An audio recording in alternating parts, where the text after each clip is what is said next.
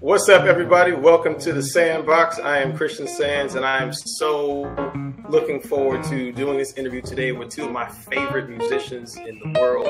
Wow. We have all the way from the Virgin Islands. Mhm. Uh, he's been on many recordings, hundreds and hundreds of recordings. Uh, Mhm. uh, we have a fellow connection with Jackie McLean. I know uh, all the way Mac. to Charles Lloyd. You know, Mhm. please welcome Reuben Rogers. What's up, Reuben? What's up, Christian? Rube. Yeah. What's up, you? Hello. And we also have my brother in arms. We have been making music together for uh, many, many, many years uh, with the great Christian McBride, with his groups, with my own groups, all the way from Jacksonville, Florida. Uh, he also has many recordings. He has education programs. He's got mhm. business models. I mean, you name it, he's got sticks. Whatever you want it, he's Yeah. got it. Please welcome Ulysses Owens. What's up, baby? Entrepreneur. What's up, baby? Good to see you, fellas. How you doing? How you feeling? Yeah.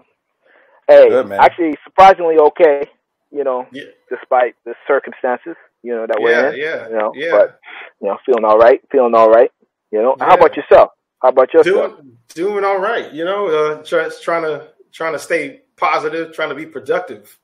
I don't think I don't think I've seen Yeah. you with so much hair before. I know it's different. I know, man. Get it? I look like I'm doing a reboot of That's What's Happening. You know. You, you, you look like Christian Gonzalez. That's right. Hey, man, gotta go ahead.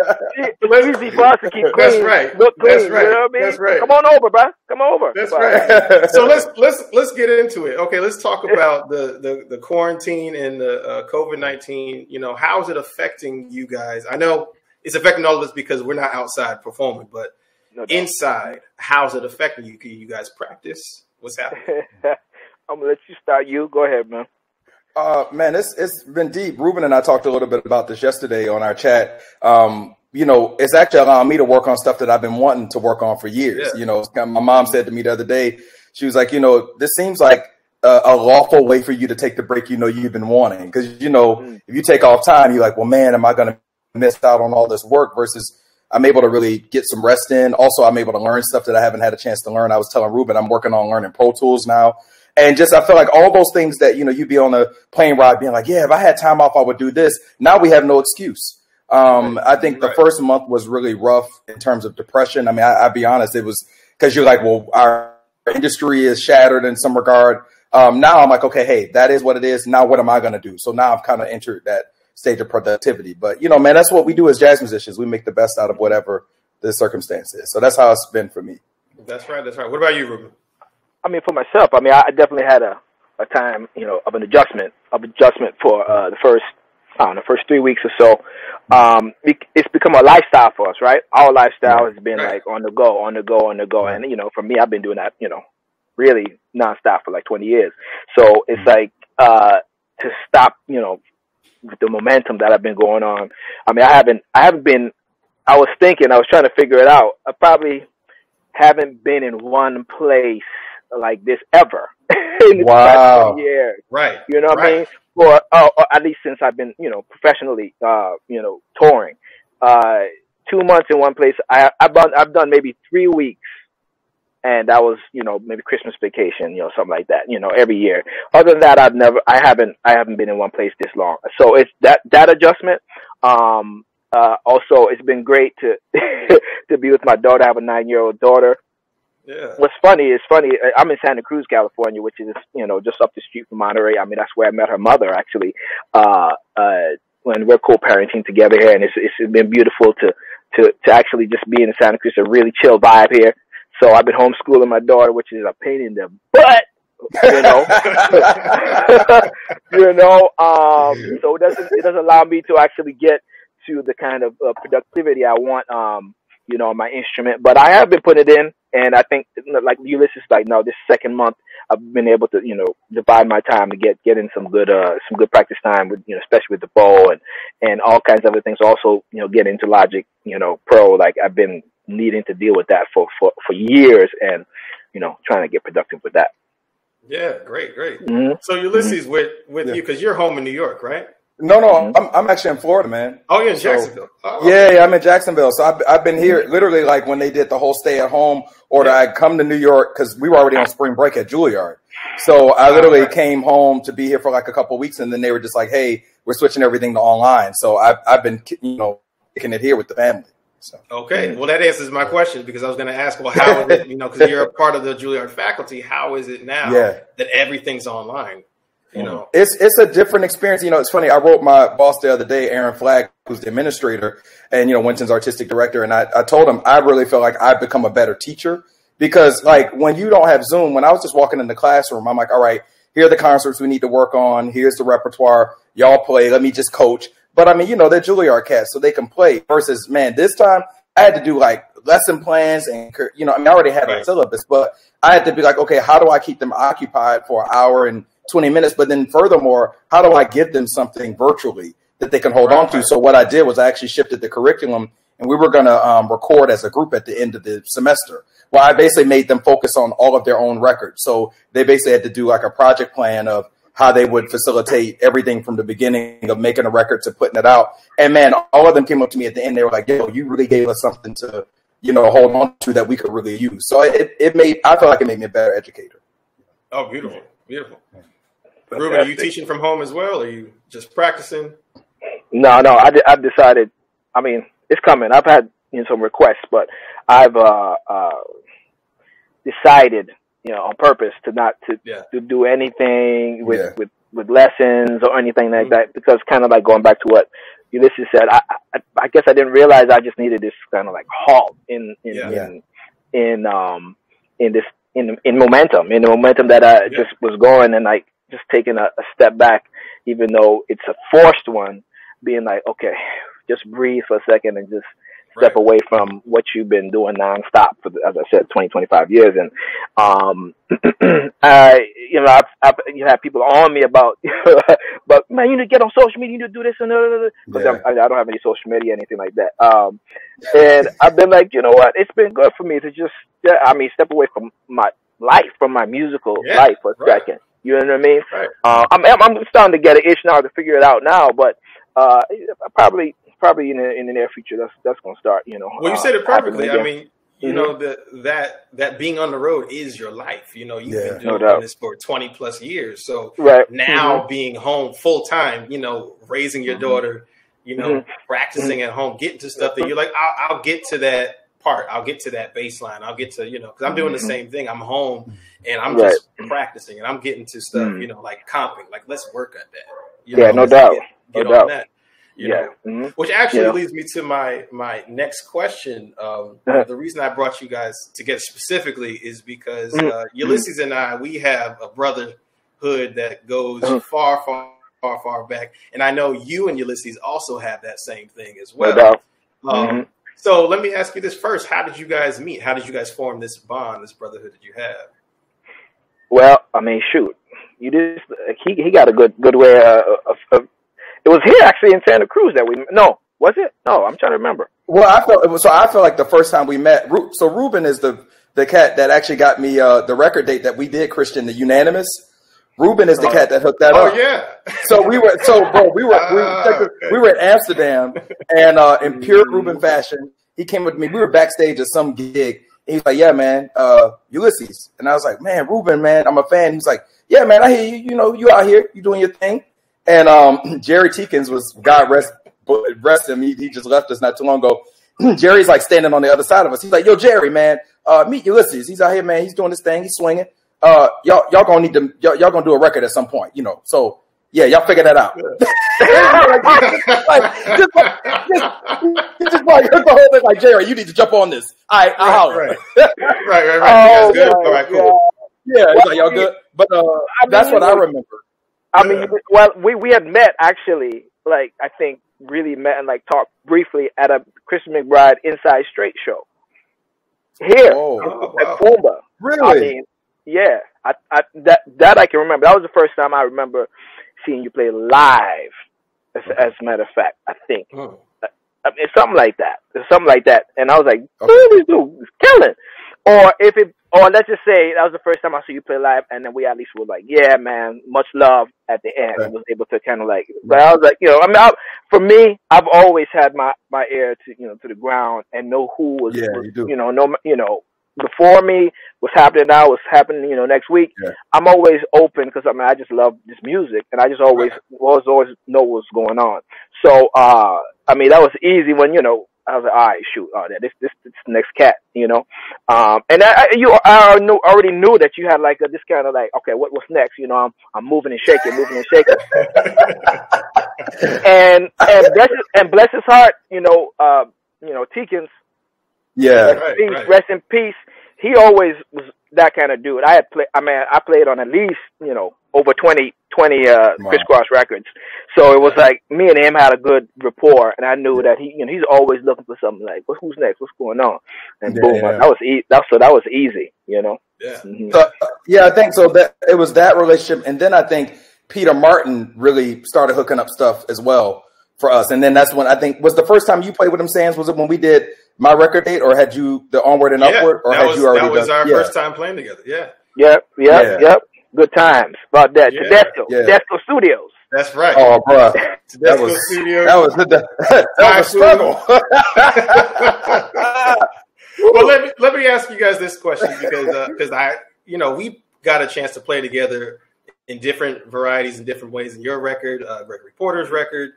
Um. What for you makes a good rhythm section? What for you makes it worthwhile playing together? Like, what do you like about Reuben's playing? Reuben, what do you like about Ulysses playing that attracted you to say, "Hey, I like playing with this cat. Anytime he needs me, you know, let me let me play with him."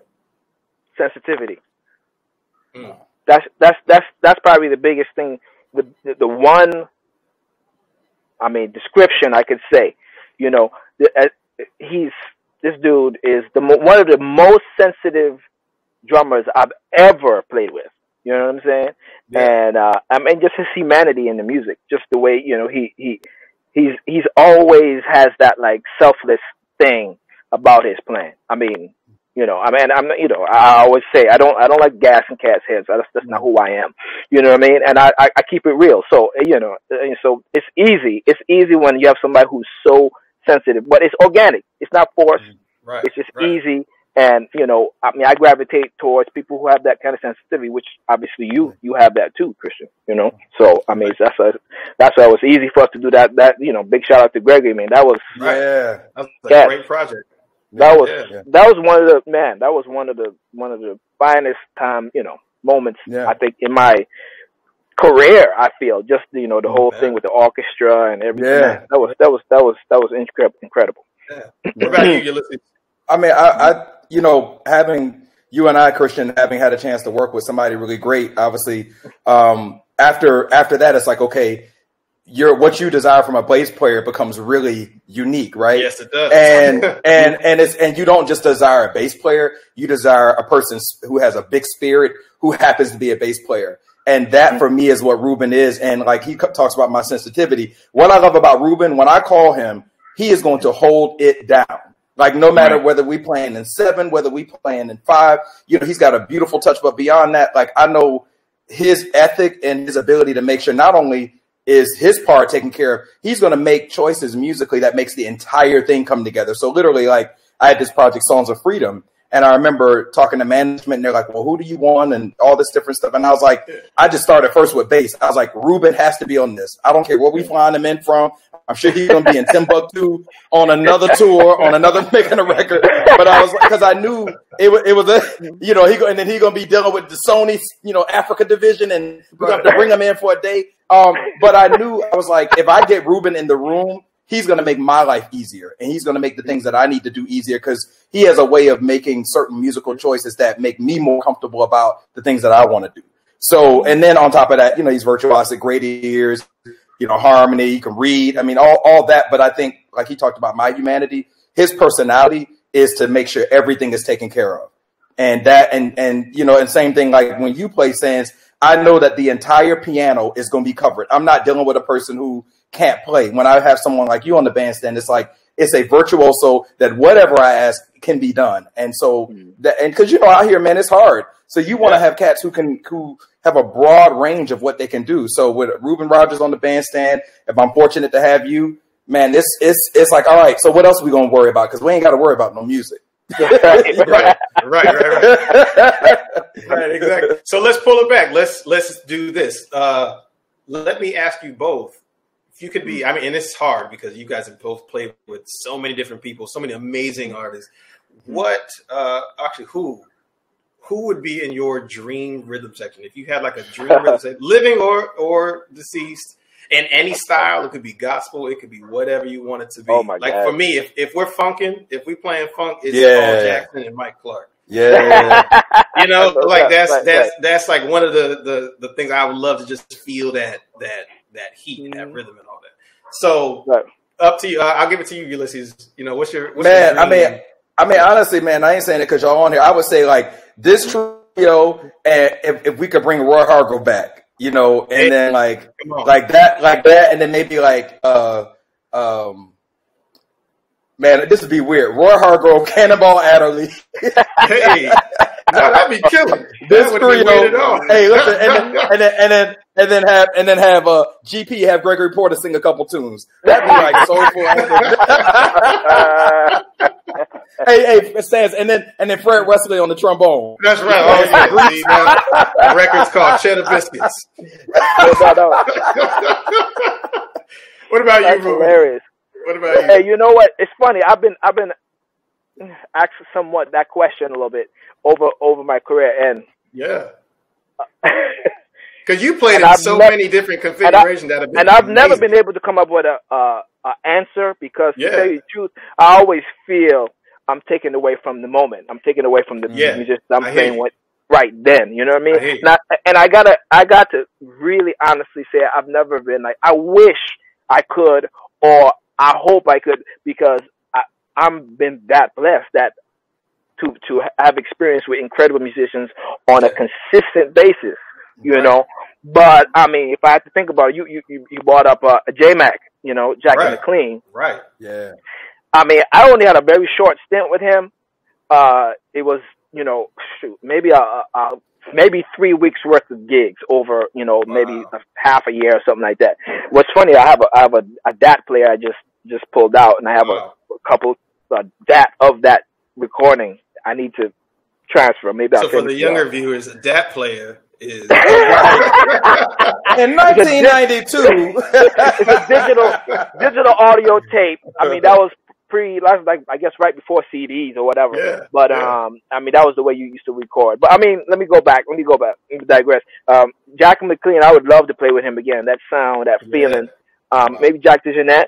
You know, Ooh. uh, uh, shoot, I don't know, man. Uh, uh Gonzalo. Gonzalo. Oh yeah, Caba. Oh, yeah, I, I, I, that, I want to play with Gonzalo. I'm a pianist. I'm know, like, yeah, let me. I mean, the list will go on and on and on and on. All day. The list will go on and on and on. But to tell you the truth, yeah. I mean, you know, I'm. I, yeah. Whatever, man. You know, wh- whatever the next gig is, whatever it's going to be, a right, year from right. now whatever or we can six play. months. Right. I'm looking right, forward to that one. You know, that's Yeah. going to be the beautiful one. That's going to be That's the best it. one for sure, for sure. So I know we have a few minutes left. Uh, two questions. Um, well, actually, uh, let's talk about Ulysses, your uh, Don't Miss a Beat Yeah. uh, organization. Tell us about that. Tell us how we can be a part of it. You know, Mm, cool. uh, it's an amazing organization that you started with your parents. Mm. Yeah. Yeah, So, with the whole family. Let us yeah, know man. uh, what's going on with that. Yeah. So, so very quickly, it's uh, after school arts programming is free arts programming for uh, what I like to call at hope kids, uh, which some would label as inner city kids. But we're 12 years old, and we started as a music and art summer camp.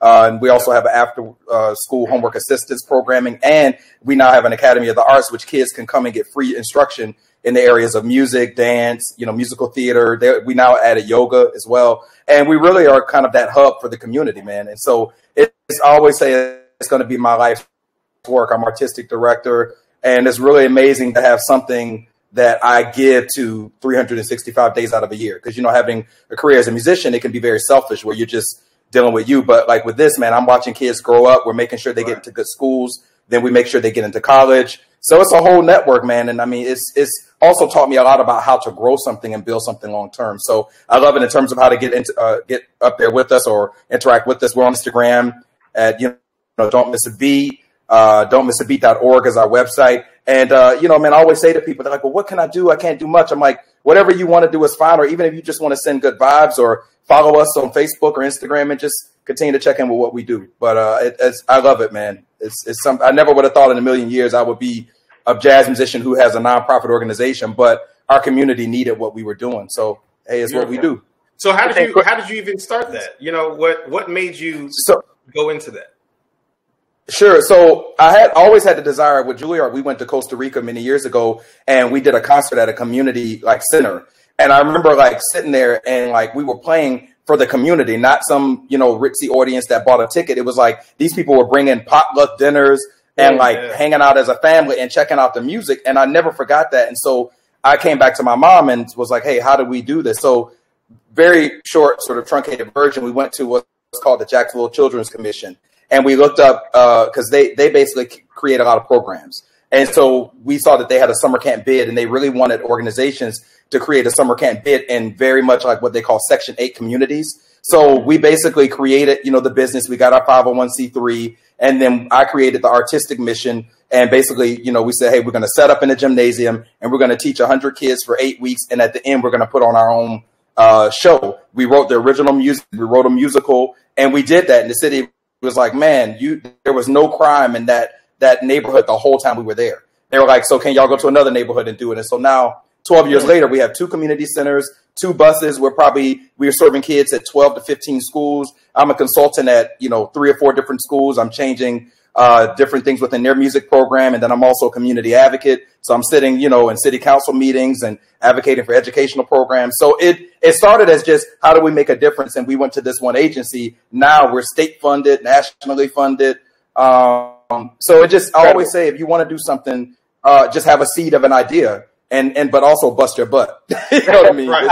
the first right. the first five years, nobody gave to us. I mean, right. nobody gave to us for the first five years. We had to fund it. Now we're getting to the point where people are exposed. So anyway, man, it's it's it's amazing, and I love it. It's what makes my heart beat every day. Absolutely. Yeah, and I, have I've experienced firsthand, man. You're oh, doing yeah. an incredible job, brother.